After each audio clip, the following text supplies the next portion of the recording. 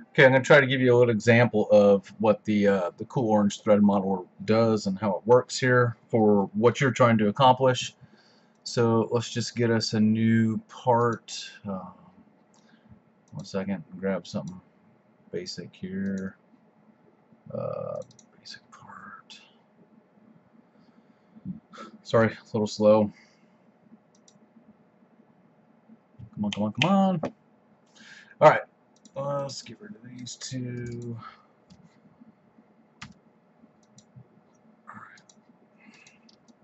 All right, so what we're going to do is we're just going to put a hole in here. Yay.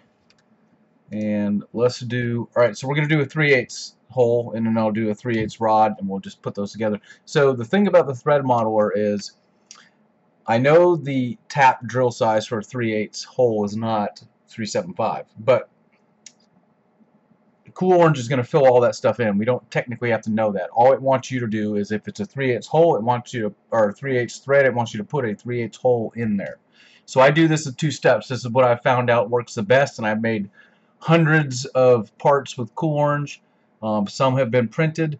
The rest we use for renders because I need to show the threads actually sitting inside each other, and I know that this works. So just bear with me. You can adapt it, you know, however you want to do it. I'm just going to show you how I do this. So we'll do a 3 8 uh, thread. I'm going to go ahead and make a 3 8 hole. We'll just go all the way through.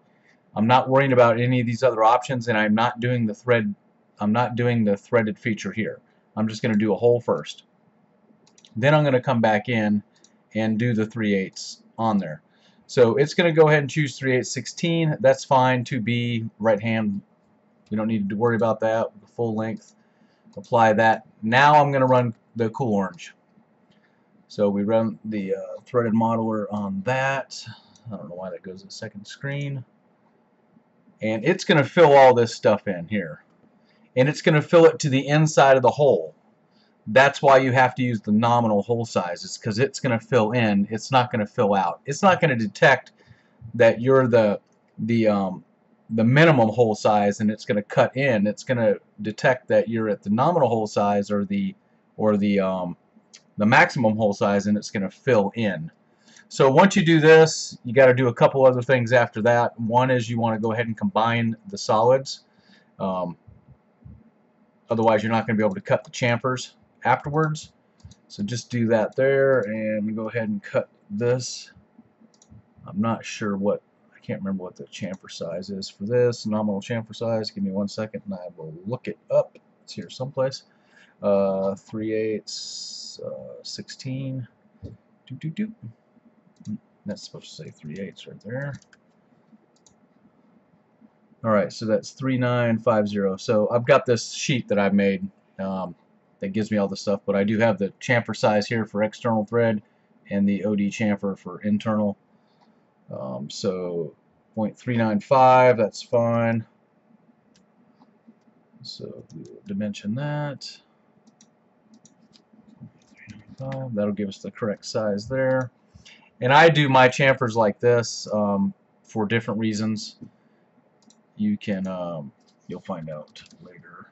You'll find out as you're doing this. Uh, the you know, I do it like this because if you're doing something that's automated on here, it can find that feature. It can find this surface feature, but it can't always find that edge, especially if you go back and redo this thread size, because you can't change the thread size once it's once it's done. It's a lot. You know, it's not live. So, all right. So let's save this part here, and we'll just uh, save it here. Uh, the cool orange. Uh, sure one.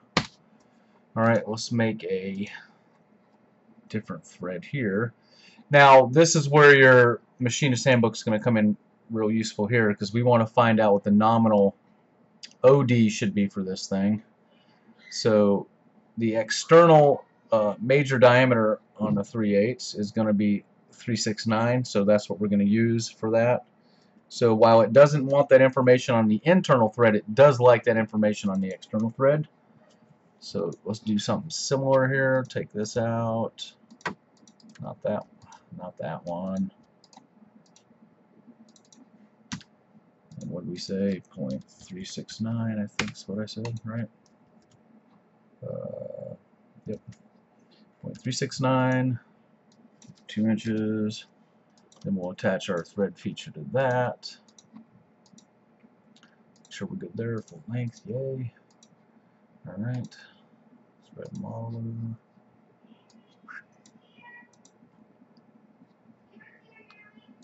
Same thing, uh, we're going to combine the solids on these so we can get the chamfers to work. If you don't combine these solids and you try to chamfer that thing, it's going to cut it to the inside of the threads because obviously the thread is a separate solid.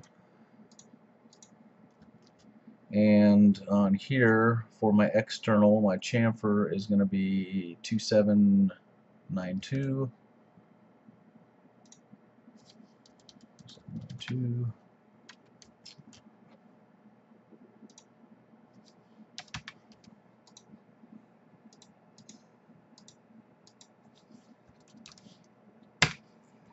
Okay, so we'll run this on that cool orange 2.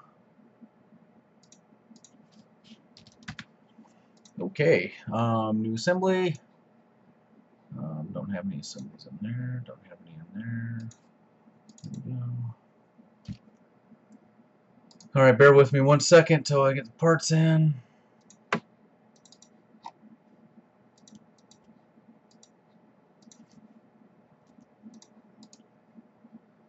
Alrighty, let's get this guy flipped around here.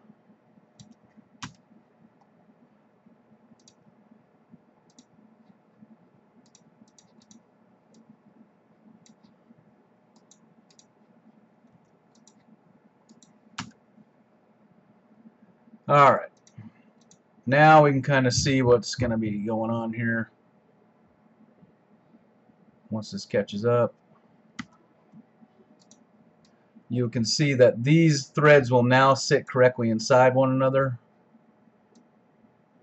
So if you were to 3D print this or whatever, now this is just a nominal fit. Um, it's not close, it's not loose, um, whatever this nominal is.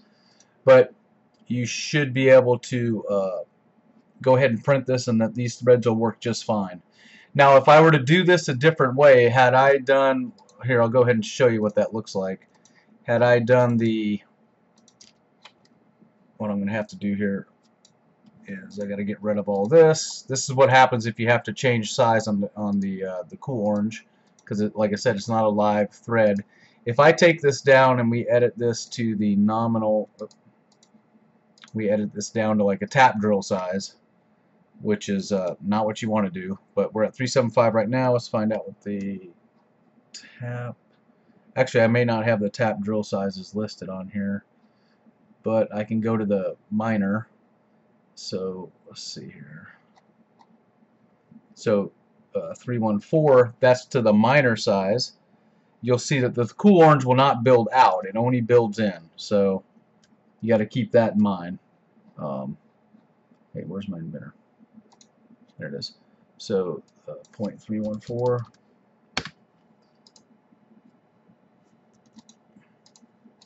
oops now when I build that out, I've still got a three. I've still got a three six or three eighths on here.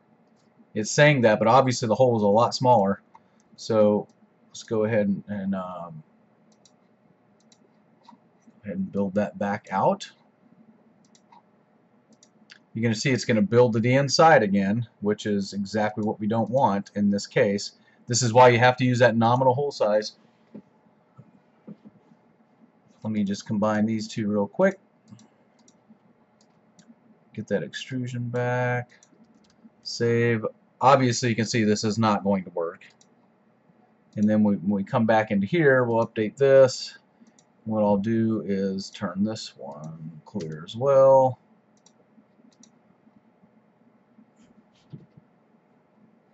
And you can see where you can see here, here's the bottom of the thread instead of being right here.